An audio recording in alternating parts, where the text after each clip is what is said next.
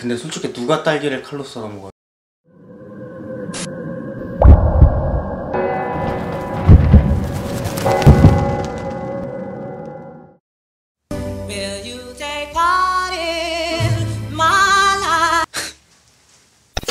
안녕하세요. 저는 루프탑 스튜디오에서 영상을 제작하는 영상 제작자 돌핀입니다. 오랜만이에요. 안녕.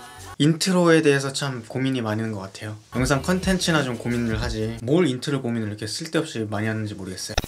제가 여러분들 덕분에 이렇게 소니와 함께 영상을 제작하게 되었는데 또 제 영상 스타일 아시잖아요. 리뷰 이런 거 아니고요. 이 A7C 가지고 A7C가 아니라 알파 7C 어떻게 하면 혼자서 영상을 잘 찍을 수 있는지 그리고 소니 카메라를 어떻게 하면 효율적으로 사용할 수 있는지 그런 것들을 알려드릴 거예요. 여러분들도 얻어가는 게 있어야 되니까.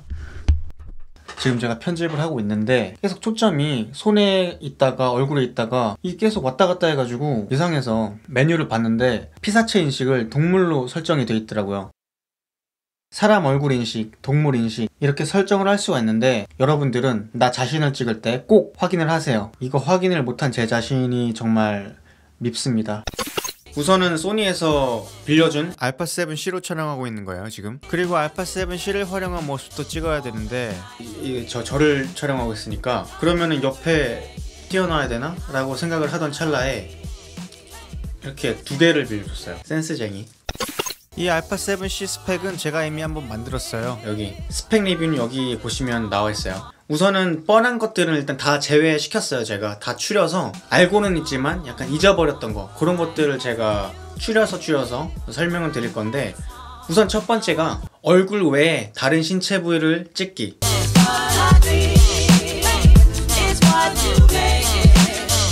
신체 부위라고 하니까 좀 이상할 수도 있는데 그러니까 이게 뭐냐면은 열이면 열은 브이로그를 뭐 찍어라 이러고 할때 요거예요. 오늘은 어디 갔습니다. 이렇게 아래서 찍는 분들도 있어요. 밖에서 좀 창피하니까.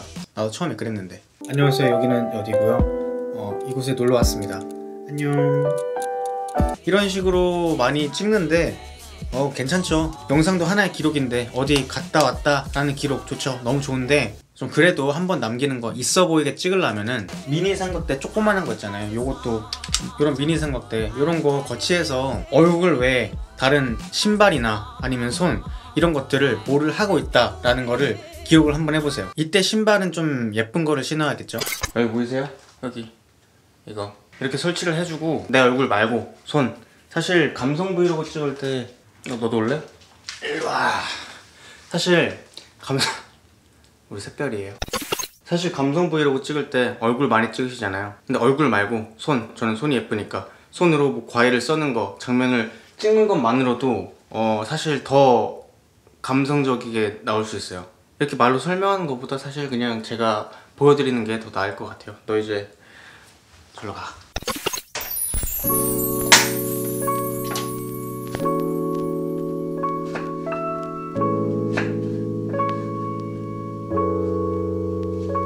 근데 솔직히 누가 딸기를 칼로 썰어 먹어요?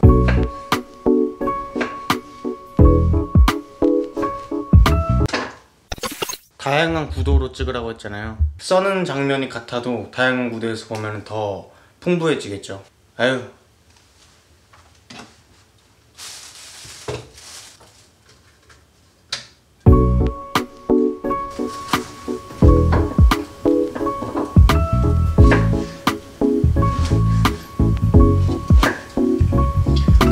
진짜 이쁘게 잘 나오긴 한다. 그리고 바디도 워낙 쪼끄만해서 구도 잡기도 쉬워요. 이런 식으로 보면서 swivel을 이제 넣어주면 어떡합니까? 자, 그 다음 두 번째 하늘색을 많이 활용해라.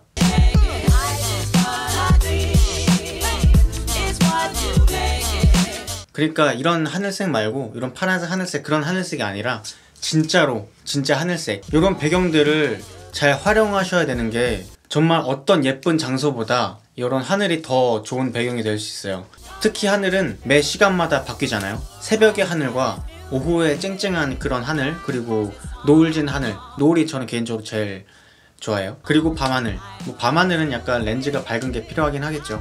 이렇게 시간대별로 바뀌는 예쁜 배경을 공짜로 찍을 수 있는데 그런 배경들을 잘 활용해야겠죠. 특히나 이 시국에 좀 멀리 나갈 수가 없다 싶으시면 그냥 하늘이 예쁠 때 그때 옥상이나 뭐 어디 공원이나 그런 데 가서 찍으시면 더욱 예쁜 영상이 나오죠. 자, 그 다음 세 번째. 여러 각도, 여러 구도에서 찍어라. 이거는 정말 제 영상 많이 시청하신 분이라면은 많이 들었을 거예요. 근데 이번에도 정말 빠지면은 안 돼요. 왜냐면은 이 카메라가 거기에 진짜 특화됐어요. 무거운 카메라를 가지고 구도 혼자서 잡으려고 하면은 구도 잡고 계속 촬영하고 하는 게 그게 쌓이다 보면 힘들어요. 무거우니까. 그래서 저는 유튜브용은 작은 걸 선호하긴 하는데 이거는 풀프레임인데도 작으니까 어, 이거는 꼭 설명해야겠더라고요.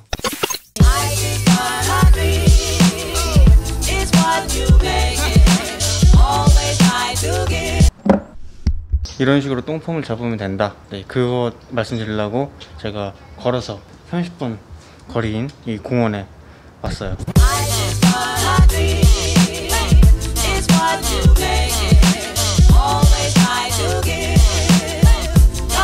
최대한 삼각대를 잘 활용하시면은 어, 혼자서도 이렇게 다양한 각도를 찍을 수가 있죠. 하지만 약간의 현타는 온다는 거. 어, 지금 제가 여기서 왜 이러고 있는지 모르겠어요. 빨리 집에 가고 싶어요. 날씨도 흐려가지고 이거.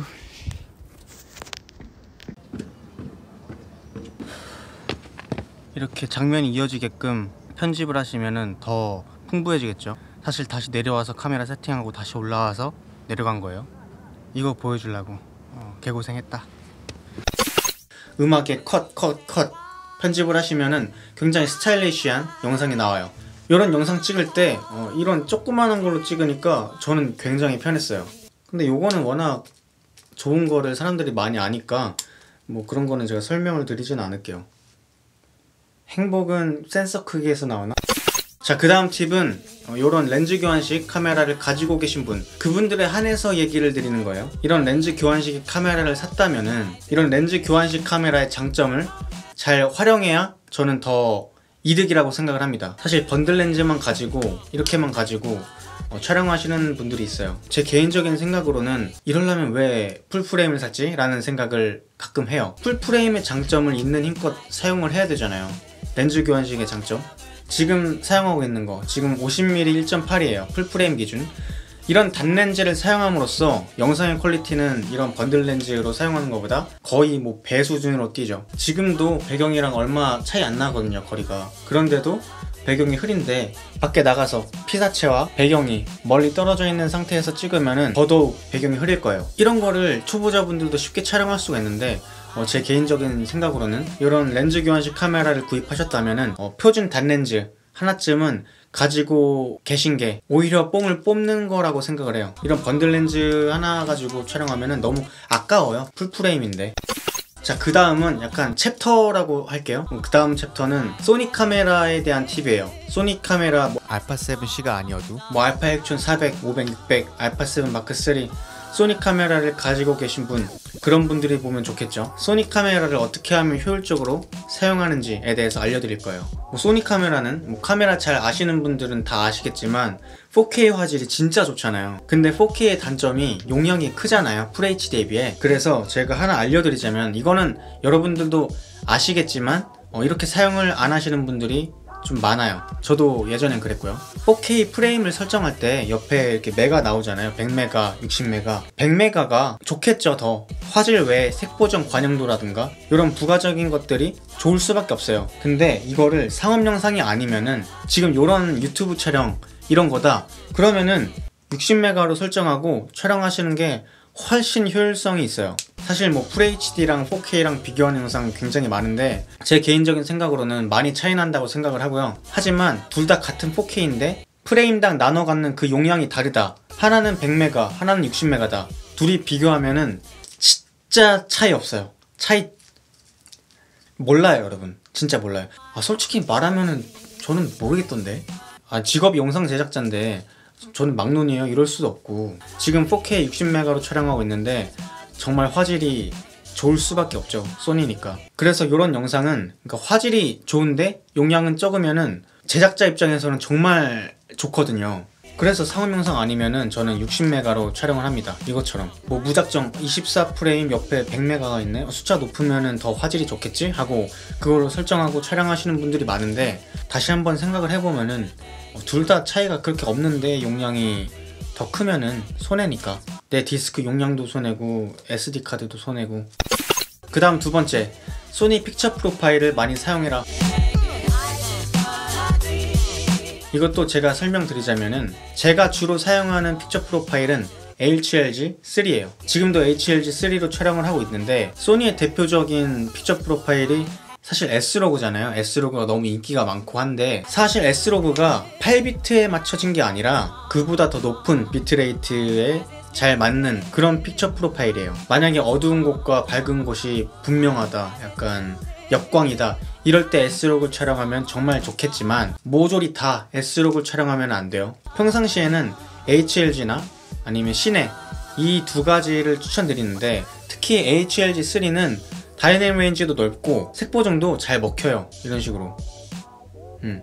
뭐 대비값 계조 이런 것도 잘 안 망가지고 사실상 8비트 영상에서는 HLG3가 제일 저는 개인적으로 PP 중에는 제일 좋다고 생각을 합니다. 그렇다고 S로그는 쓰지 말아라 이게 아니에요. S로그도 분명히 쓰일 때가 있어요. 예를 들어서 역광일 때 이럴 때 저도 자주 사용하긴 해요. 그냥 찍는 것보다는 이런 HLG3 픽처 프로파일 이런 것들을 많이 사용하셔야 돼요. 그래야 뽕 뽑으니까. 비싼 돈 주고 샀는데. 아 소니 카메라 또 하나의 꿀팁. 이 기능은 정말 제가 잘 사용했는데 이번만큼은 깜빡한 기능. 어, 항상 설정이 되어 있어 가지고 대여받은 카메라에도 그렇게 설정이 된 줄만 알았던 그 기능. 오토포커스 사람 우선. 그거 꼭 키세요 진짜. 그거 그냥 키세요. 제 말 그걸 꼭 설정을 해야 되는 이유가 그러니까 소니가 AF가 너무 빨라서 너무 정확하고 빨라서 손을 내가 이렇게 해도 아 앞으로 나왔구나. 손에다가 포커스를 잡아야지. 이러면서 정말 빠르게 소- 손에다가 잡아요. 지금은 안 잡죠. 저 잡죠. 지금 손 이렇게 해도. 봐봐. 안 잡아요. 사람으로 설정을 하세요. 사람으로. 예전 소니 카메라에 알파6 400에다가 그 설정을 하고 그냥 한 번 설정하면 되니까 까먹고 있다가 대여받은 그 카메라도 그냥 설정돼 있겠지 했는데 동물로 돼 있어가지고 편집할 때 되게 어지러워가지고 어, 곤란했던 그런 그래서 만약에 내가 뷰티 유튜버가 아니다. 이걸 이렇게 해야 되는 상황이 아니다. 지금 봐봐. 이렇게 해도 얼굴을 잡아요. 이렇게 해야 되는 상황이 아니라면은 동물을 키운다 동물을 찍고 싶다 그럼 동물로 설정해도 되는데 저는 동- 우리는 동물이 아니잖아요. 사람 우선으로 잡고 어, 찍기. 이렇게 손으로 이렇게 말해도 제가 말할 때 손짓하는 버릇이 있어가지고 이걸 설정 안 하면은 어, 손에 잡혔다가 여기 잡혔다가 손에 잡혔다가 이러니까 뭐 여러분들이 이제는 잘 하시겠죠? 자 마지막으로는 알파 7C에 대한 저의 생각을 말씀드려보는 시간을 갖도록 할 텐데 사실 저는 정말 긍정적인 생각이에요. 어, 잘 나왔어요.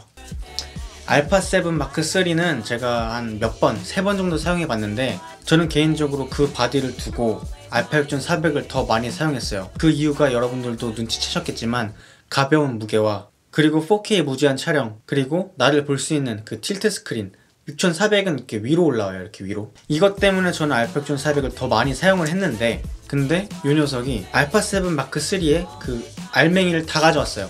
다 가져왔는데 크기는 어, 요만해요. 그렇다고 알파 7 마크 3랑 다 똑같냐? 이거는 swivel도 되고 그리고 4K 무제한 촬영이 가능해요 30분 제한이 없어요 그래서 이거는 진짜 나에게 저한테 맞는 카메라죠 항상 자신한테 맞는 카메라를 찾아야 돼요. 여기서 또 하나의 생각은 지금 알파 7C가 뭐 유튜브용, 브이로그용으로 홍보를 하고 있는데 유튜브용, 브이로그용으로 정말 훌륭한 카메라인 건 맞아요. full frame 중에 이게 그냥 탑이에요. 원탑이에요.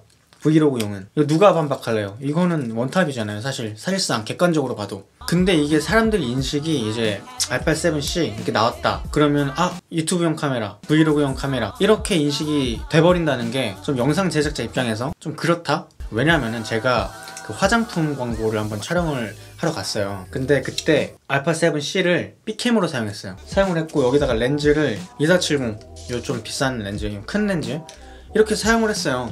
음, 이런 식으로. 제가 말씀드리고 싶은 거는 사실상 상업 영상에 투입해도 그러니까 상업 현장에 투입해도 될 정도의 스펙이에요. 그래서 너무 막 브이로그용, 유튜브용으로 홍보하면은 조그마한 카메라에 대한 그런 인식이 좀 유튜브용으로 각인시키지 않을까 어, 생각을 하게 됩니다. 왜냐면은 저는 그 FX3라고 500만 원이 넘는 카메라 있잖아요, 소니. 그거 정말 눈여겨보고 있는데 그것도 크기가 요 이것보다 살짝 크거나 작을 거예요. 근데 500만 원이고 시네마 카메라라고 불리우는데 만약에 클라이언트가 좀 어, 카메라 왜 작지? 고수 맞아요? 이럴 수도 있으니까. 오지랖 넓은 생각인데 브이로그용 뭐 유튜브용으로는 정말 정말 적합한 카메라인 건 맞는데 상업 영상 B캠 정도로 투입할 수 있을 정도로 어, 고스펙이다 라고 말씀드리고 싶습니다. 근데 뭐 이건 어디까지나 영상 제작자의 입장이고요. 무시하셔도 되고요. 나는 그랬다. 자 오늘 영상은 여기까지 하고 어, 그럼 지금까지 루프탑 스튜디오에서 영상을 제작하는 영상 제작자 돌핀이었습니다. 그러면은 다음에 봐요. 안녕